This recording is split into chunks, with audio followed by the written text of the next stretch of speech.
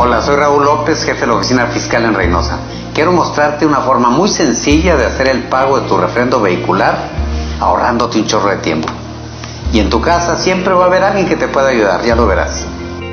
El primer paso es que tengas tu tarjeta de circulación a la mano o una copia de la misma, que cuentes con una tablet, con un teléfono inteligente o una computadora como esta y te voy a mostrar cómo podemos entrar. Ingresamos a la página oficial del gobierno del estado de Tamaulipas en la sección Tenencia y nos aparece el icono de realizar trámite.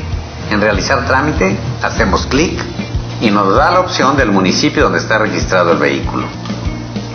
Hacemos clic, buscamos el municipio, tenemos a Reynosa, hacemos clic y ya tenemos el municipio seleccionado.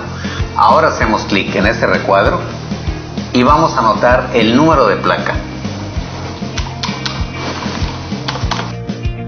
Enseguida nos vamos al siguiente recuadro, hacemos clic y vamos a anotar los últimos cinco dígitos del número de serie. Enseguida vamos a hacer clic en continuar. Oh sorpresa, nos aparece toda la información incluyendo los subsidios autorizados en el acuerdo gubernamental. Como podrán observar, este tamaulipeco no paga tenencia. Hacemos clic en continuar. A continuación el sistema nos muestra tres formas de poder obtener nuestros documentos.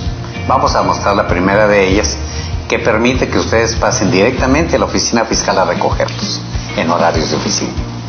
Es muy importante que nos proporcione sus datos de contacto. Y ya por último, seleccione su forma de pago. En este caso vamos a seleccionar pago por ventanilla bancaria. Aquí nos indica si requieres o no requieres FDI. Y automáticamente te aparece tu ficha de pago para que pases al banco. Una vez realizado tu pago, espera cinco días hábiles y te presentas con los requisitos que aparecen en pantalla en la oficina fiscal. Recuerda muy bien, tu ficha de pago es tu ficha de acceso a una fila preferencial. Comparte este mensaje que es de beneficio para todos los tamaulipecos.